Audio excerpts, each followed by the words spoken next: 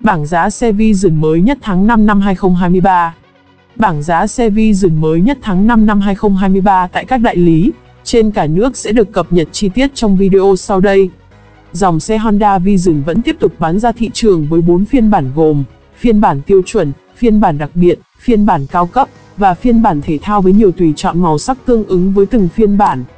Hiện tại, giá đề xuất của hãng đối với các dòng xe Vision trong tháng 5 năm 2023 không có sự thay đổi nào so với tháng trước. Cụ thể, phiên bản tiêu chuẩn có giá 31,69 triệu đồng, phiên bản cao có giá 33,39 triệu đồng, phiên bản đặc biệt có giá 34,79 triệu đồng và phiên bản thể thao có giá 37,9 triệu đồng.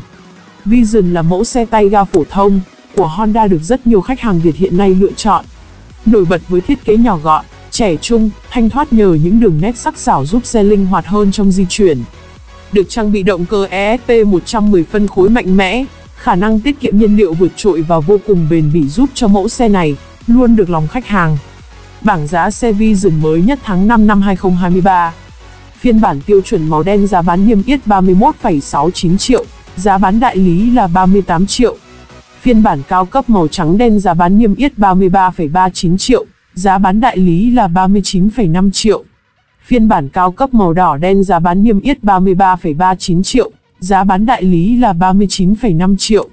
Phiên bản đặc biệt màu xanh đen giá bán niêm yết 34,79 triệu, giá bán đại lý là 41,5 triệu. Phiên bản thể thao màu xanh đen giá bán niêm yết 37,9 triệu, giá bán đại lý là 43,5 triệu. Phiên bản thể thao màu xám đen giá bán niêm yết 37,9 triệu, giá bán đại lý là 43,5 triệu. Như vậy, giá bán thực tế hiện đang cao hơn mức giá đề xuất của hãng khoảng 6,11 đến 6,71 triệu đồng trên xe, với mức chênh lệch cao nhất được ghi nhận đối với phiên bản đặc biệt.